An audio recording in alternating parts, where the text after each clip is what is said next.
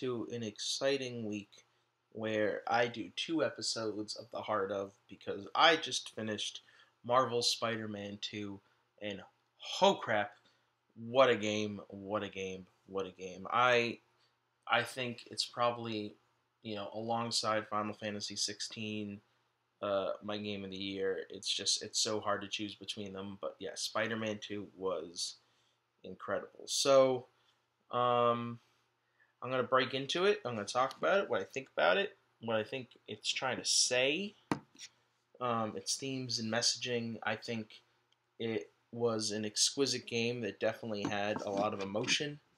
And before we jump into Spider Man 2, we gotta just give a quick recap of Spider Man 1 and the subsequent in between game, Miles Morales. So, Spider Man 1 is about Spider Man, and he's been Spider Man for eight years, and he uh, starts off the game, you know, bringing down Kingpin, and he's, you know, working with his Aunt May in uh, Feast, which is a homeless shelter, and things are going great. Uh, he's working for his mentor, Otto Octavius, to try to, you know, build prosthetics for people who need them and technology for people who need them. Uh, Otto is this great, selfless guy, and things are going great. Uh, turns out the person that runs Feast, Martin Li, was actually experimented on as a young child for uh, research purposes. Uh, goes horribly wrong. At that point, when he was a child, Norman and Otto had been working together. Uh, because of this, they split apart. Uh, Norman, you know, goes on with Oscorp, and Otto is a poor, struggling scientist who needs grants to survive. So, keep going, keep going. Uh, Martin Li kills a lot of people. You're introduced to the character Miles. Uh, Peter and MJ's relationships is on the rocks. Peter, uh, you know, is trying to hold it all together. Otto begins to go crazy because he has a degenerative disease and he creates these prosthetics, but in the process, uh, they mess with his mind, so he's going bananas, and he uh, frees a bunch of supervillains. He finds a bioweapon that Oscorp worked on. He releases it into New York. Bing bang boom. Spider Man's doing a lot of fighting. Uh, uncovers some mysteries.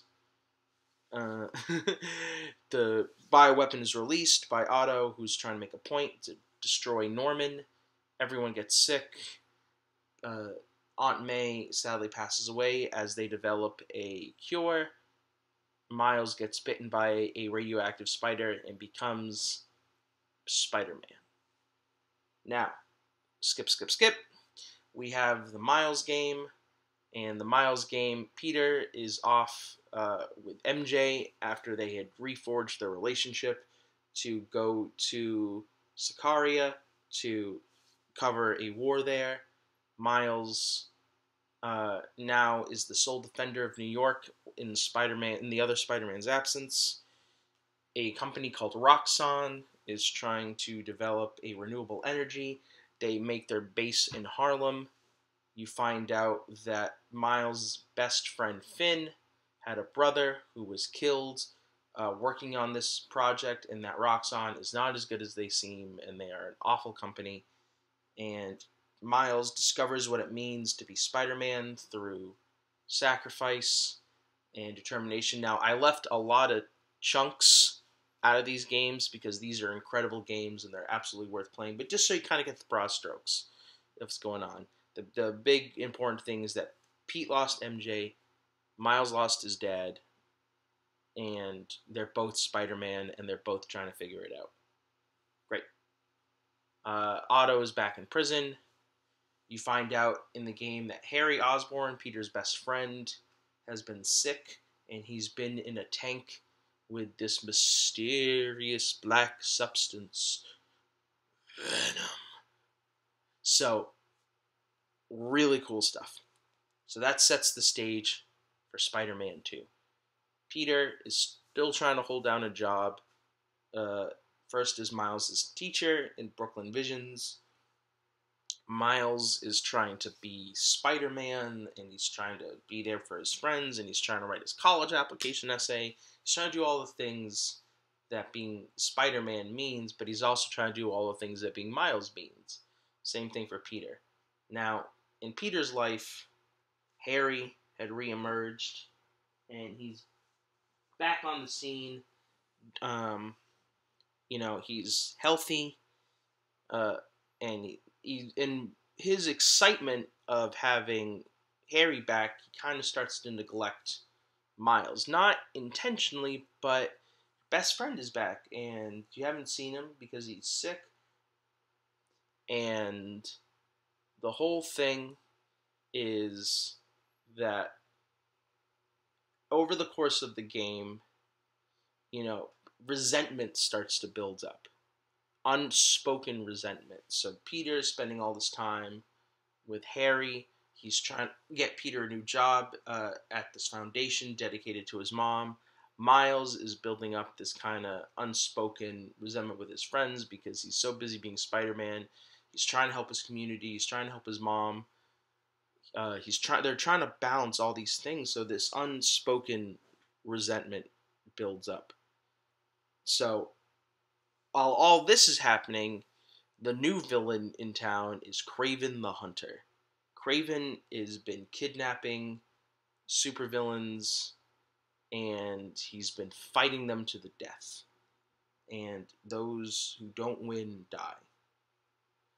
So while they're trying to figure all this out, all this is happening, they're also trying to deal with their personal lives. So the, the one of the themes of the story is balance and trying to maintain that sort of balance. I think they both, as most Spider-Men do, have a horrible time doing so. And a lot of the game's main story and a lot of the game's side content, great side content, is about time and and there's these two stories I want to mention in particular with side content. Uh, Peter uh, finds this young woman and she lost her grandpa. And she doesn't know where he is. And through puzzles and fun little side uh, mini games, you find him at a park overlooking some water. And he reminisces on, you know, getting engaged to his wife and just how time passes in the blink of an eye and how you just have to cherish these moments and love these moments and and what I love is Spider-Man just takes the time to sit down and talk to him. To really just sit down and listen. Listen to what this guy is trying to say. I don't know if Peter really hears it in the moment. And there's another one where you help someone relocate some pigeons and put him at peace so when he passes away, he knows that he's done everything he can. Again, Peter has conversations with these people, but I don't think Peter really hears them and what they're trying to say about letting time and things go and really appreciating the moment. Miles is having a lot of these life moments pass by because he's so focused on how to be a better Spider-Man. Um, and that with the story of you know Pete's relationship with Harry, and it's it becomes this dance of how do we balance all this? How do we, you know, make the time for the people in our lives that are important? You know, Miles can't make the time for his friends. He can't make the time for his mom because he's so focused on being Spider Man. And, you know, we're not all superheroes, but I think that theme, that idea is so universal. That idea that I'm so busy with. Replace superhero with work. And it becomes a one to one. I have work, I have these bills, I, I have to maintain, I have to keep going forward, and you get caught in your own miasma, your own micro universe that you can't see far beyond it. You can't see far beyond your own pain, your own time. That you just have to sometimes it's, it's Herculean sometimes to make the gears stop so you can spend time with the people you love. And Miles and Peter are struggling to do that.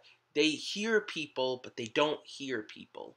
that makes sense. Mary Jane is working at the Daily Bugle and she's, you know, struggling. And, and Peter is not malicious. He's not a dick when he's trying to be like, it's going to be okay.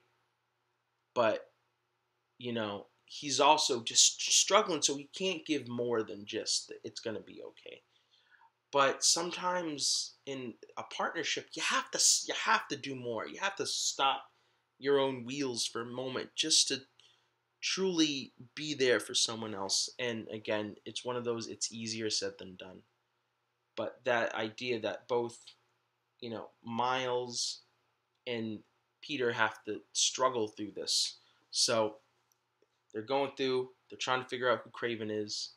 And in the meantime, Harry is no longer sick. Well, the reason Harry is no longer sick is because he's been in that tank with a symbiote.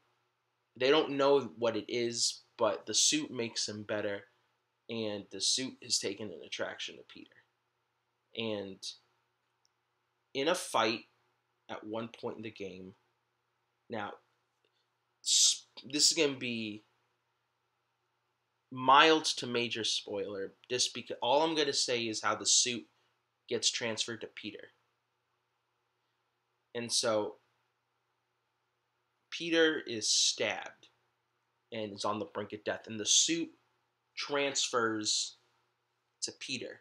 And over the course of the game, Peter is dealing with this pent up resentment because he's had to take care of everything for so long the city, letting you know his personal life go to risk, and you know, it's almost like the symbiote is revealing these truths that Peter is buried so deep down inside that he can't even see anymore. He's so unaware of this.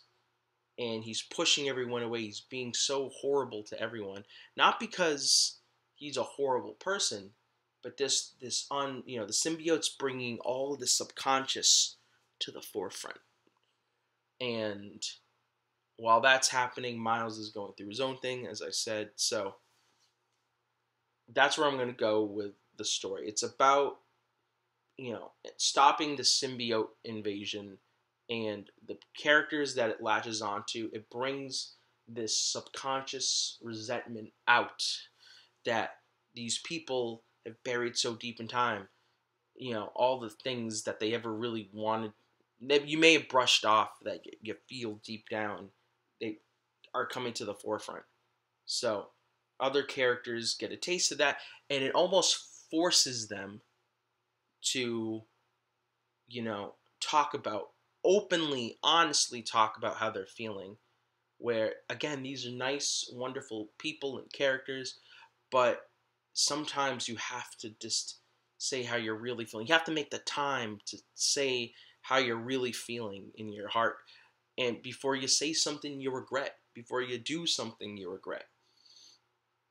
So, Peter's on that journey to just learn how to stop and make time and you know there's a great moment there's a great flashback where peter's so frustrated he punches a hole in the wall as a high schooler and aunt may comes up and, and she's like peter when I was in high school, I tried to do this, this, this, and this, and and I burned at everything, and something had to give, and the the monster of it all is balance. So, just trying to make time because you don't know when it's all going to go away. And I think these stories these games seem trivial because it's like, okay, you're a superhero and you're fighting a villain. Like I mentioned in the other episode, it's easy to be like, what does it matter? What is it? What's what's the point? But the point is, I can take these metaphors, this idea that Peter's not listening, Miles isn't listening, they're not making the time for the people they love, and I can apply that but take away superhero and put in work, put in the daily grind that's so easy to get caught in the rut of, where you're not, you can't see the forest from the trees and you can't look past like just having conversations. There's a moment where Miles gets to peer into Peter's subconscious and he gets to see the hurt that's been in Peter since game one when Aunt May died. And he gets to be like, wow, I haven't brought up May in a long time. I haven't asked Peter how he feels about that, how he feels about May. And because it's like, it's not because Miles forgot. It's not like Miles doesn't love and appreciate Aunt May. Miles is also caught up in his own pain of losing his own father. It's unintentional hurt. It's unintentional pain it's it's something you just have to stop and, and be cognizant of that oh, I have to make an effort. Because it's uh, the a relationship isn't easy. Whether that's a romantic relationship a friendship relationship it, it takes time and effort and you have to dig into it. And I think what I really took from Marvel Spider-Man is that relationships take time, that you have to look past the own microcosm of your own universe to really check in with people, to see how they are, um, to treasure the relationships you do have.